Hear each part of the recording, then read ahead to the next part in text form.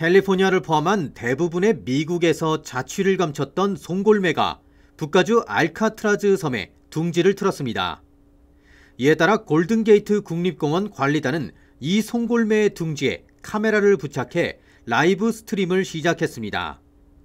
국립공원 관리청에 따르면 송골매의 개체수는 한때 멸종 직전에 몰리자 지난 1973년 멸종위기 동물로 지정됐습니다.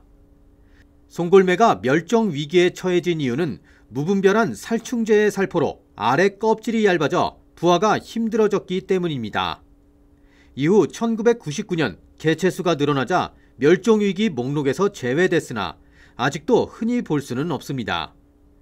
전문가들은 이번 송골매 둥지의 발견을 예로 들며 미국이 멸종위기에 처한 동물들의 회복을 알리고 있다며 반가움을 표하고 있습니다.